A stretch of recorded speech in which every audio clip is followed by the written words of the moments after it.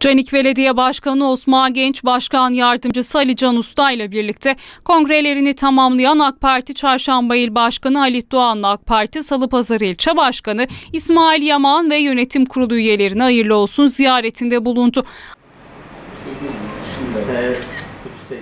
Başkan Genç Samsun'u daha ileriye götürmek için birlikte hareket edilmesi gerektiğini belirterek Samsun'u birlikte marka şehir yapacaklarını ve marka şehrin ise bütüncül gelişmeden geçtiğini ifade etti.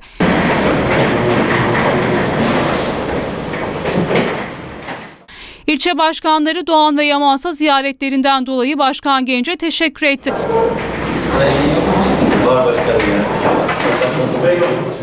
Başkan Genç de Doğan ve Yaman'a seramikten Osmanlı kaftanı hediye etti.